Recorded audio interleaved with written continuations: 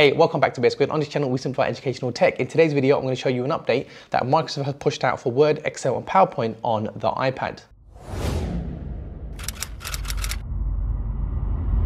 Microsoft have taken full advantage of trackpad and mouse support on iPad OS 14 uh, and they're dubbing this uh, fluid navigation and precise control. I'm going to show you examples of how this works on um, all three of those applications. So let's go ahead and dive in.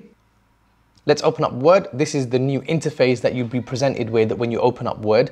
Uh, we can go ahead and click on a document and it'll open up that document. Okay, so what are these precise controls? Let me show you what we're talking about. If I go down to um, the cursor now is adaptive. Okay, so it, like for example, if I go to the ribbon up here, this was the case anyway. It would click on, it will snap onto you know parts of the ribbon. So it's adaptive. But what's more impressive is the fact that it's adaptive to the ribbon it's content aware. So if I go onto the picture now, check this out. If I, if I select this picture and I go to the corners, can you see that? How the cursor's actually changed. If I go to this corner, you've got these two um, arrows here, so I can adjust this picture. Look at this, I can adjust that picture.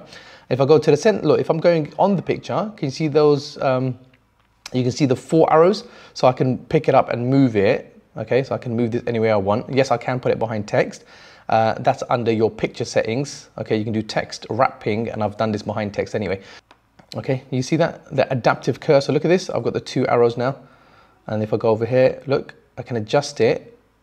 So I've got adaptive cursor for Microsoft Word. Now, it's also adaptive to text as well. So if I go float around here, I can uh, select anywhere where I want to put the cursor. So for example, if I missed out the A here, I could insert an A for health. Um, instead of carries, I could say, oh, carry, okay, carry, whatever. I can basically put the cursor on a text field anywhere I want. I could highlight as well. So for example, if I want to highlight from, let's say I don't want to highlight from the beginning of the word. Okay, I want to highlight from, I don't, I don't know, for example, from the I. You see that? I can start highlighting from the I. So the cursor is very adaptive and it's very content aware. I can go ahead and highlight text. Okay, I can uh, edit, so I can put it right here in the A, take off the A from information yeah, it's very content aware. I can go ahead and I can uh, make adjustments to whatever the content is on the document. So that's brilliant. Uh, another thing that I want to uh, mention here is the scrolling. I mean, talk about fluid. They use this word fluid, okay? Fluid navigation. Oh my God, it is fluid navigation. So if I like really pinch to zoom in here and then I mean, you can pinch to zoom and make it very small, make it very big, yeah, that's fine. But the scrolling, the vertical scrolling is very fluid. In fact, even like the horizontal scrolling, look, I can move it horizontal. Horizontal scrolling and vertical scrolling is really, really good. Where you'll see the benefit of that, okay, the fluid navigation is in Excel. So let's go ahead and open up an Excel file. Uh, so you, again, look, you see you presented with this uh, new layout, okay, this new start screen. Let's go ahead and open up a book. I don't know which one. Let's just open up a book here. Okay, so adaptive scrolling. Look at this, yeah? Very fluid, very fluid scrolling. This uh, You couldn't do this before. On Microsoft Excel, before this update, you didn't have uh, fluid navigation. You couldn't, you had to scroll using your finger, scroll up and down. Now you can scroll very fluidly. I mean, this is a game changer anyway. If anyone using uh, Excel on the desktop will now be in familiar territory using Excel on the iPad, it is really par with the desktop uh, counterpart.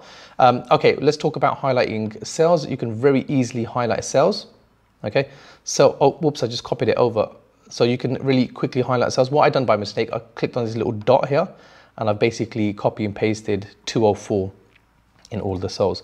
So anyway, if I do grab that cell, look, I can very easily highlight cells.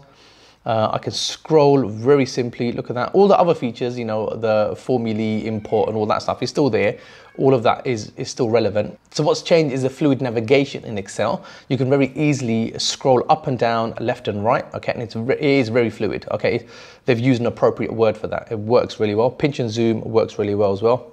It did anyway, but now the navigation is very fluid. Um, and it is content aware. So for example, if I click on this picture now, my cursor will change okay, depending on the content. So you can see here, you can see that the cursor, I've got this four arrow cursor. I can move this around very fluidly, very easily. Okay, so you've got precise adjustments now. Look, I've got precise adjustments to what I want to do with the content that is on Excel. Okay, the same is true for PowerPoint. If I go onto a PowerPoint, the same is true. The fluid navigation is very, very good. Okay, there's a book review that my daughter was doing on Stickman. Again, look, it's very, it's content aware. So can you see what's happening? I've got my cursor. When I go into the picture, it changes. So it's very aware. Um, and if I really zoomed into here, then uh, scrolling works really well as well. Okay, vertical and horizontal scrolling works very well. Um, again, look, is content aware, it adapts uh, to the ribbon really well as well. Okay, another thing that I want to show you, and it, this is really quite powerful. Before the update, you could not get two Excel sheets uh, side by side. Now, let me show you this, yeah? Let me go to Excel.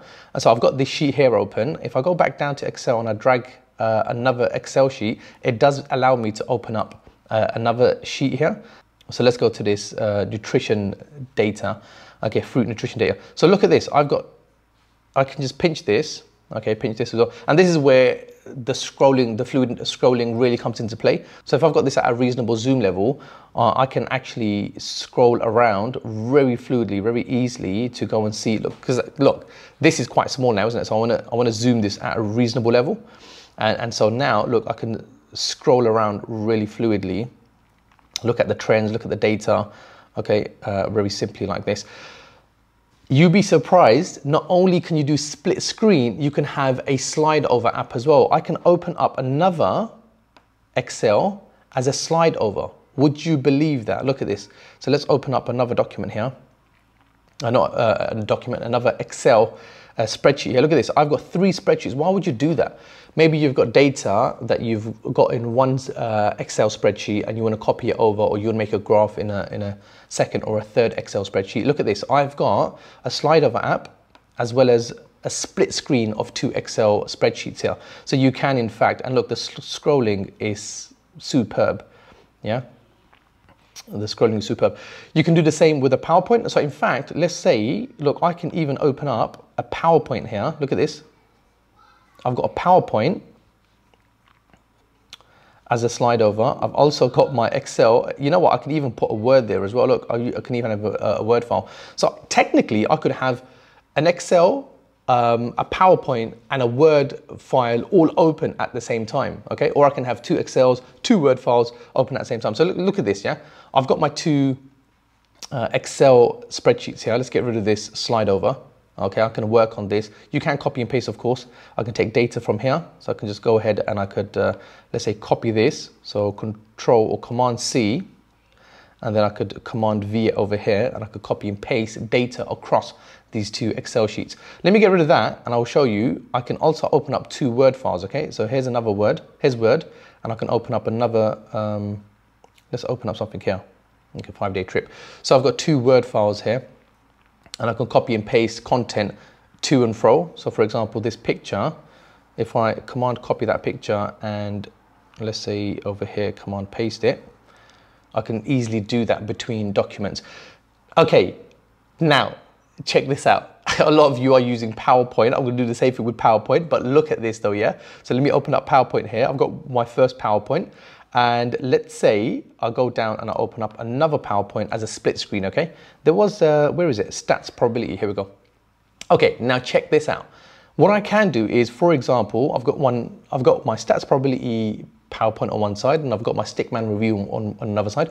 Let's say you, someone sent, your colleague sent like a PowerPoint like this stats probability one, and you want to take a few slides out that you, you know, were you're going to use in your class. So can you copy and paste slides from one PowerPoint file to another PowerPoint file? Yes, you can. So look at this. Very simply, let's just say I'll go to, um, you know, 4.1 graph and circle graphs. I'm going to go double click this, copy. I can go to this PowerPoint over here. Okay, I'm going to go ahead and paste it. So look, I've got the same slide on both PowerPoints by copying and pasting. Now, why doesn't this have the same um, design? Because when I copy and paste it, it's going to continue to uh, retain the same uh, design aspects of this PowerPoint. So this PowerPoint is, yeah, I don't know what it is, it's a black, you know, just black and white. And this one's got this colorful blue with purple stripes in it. So it doesn't copy over the design aspects, but it does copy over all the content, okay? And again, um, it's content aware. So if I click on this, You know, look, can you see that cursor changing? Can you see the cursor is changing for the text? So I could literally, I could, look, if I zoom into this, I could go into each word and really precisely, for example, let's just say I want to take out this R. You see, I can delete the R from there. Or if manufacturing, instead of manufacturing, maybe it was manufacture, I can go to this ing, delete it and put in an E there. So I can very easily adapt uh, content on the slide over here in PowerPoint. Okay, if I've got a picture or if I've got um, a text box, I can adjust, look, see that? I can adjust the text box, okay? The width of the text box. Really, really precise adjustments. Um, so I hope you benefit from that. You can use Microsoft PowerPoint, Word and Excel in split screen. Even you can even have a third slide over. They mentioned it was a phased rollout. Okay, so if you haven't got the update yet, don't worry. Give it a couple of weeks. It should be coming through. Uh, also, Microsoft, don't forget, Office is a subscription-based platform. Um, so you'll get these features once you've subscribed to Microsoft Office the same that it stands on the desktop version anyway. Okay, so what else can I tell you? That's it. If you're interested in more EdTech videos, make sure you subscribe. I'm be pumping out a lot more videos. Uh, check out some of these playlists. I've done a few videos on the Microsoft, uh, using, uh, using Microsoft on the iPad. And as always, I'll catch you in the next one.